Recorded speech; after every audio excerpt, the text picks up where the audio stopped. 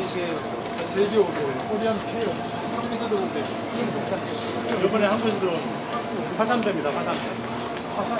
예, 신고배 전에 그 종류가 그 원앙이 처음에 들어왔고요. 이번에 들어온 게 화산배고 그 다음에 들어온 게 신고배입니다. 종자.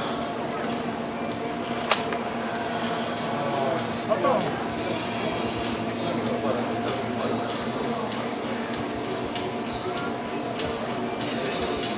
아, 그게 배추, 배추입니다, 이게. 이거 매출 큽니다.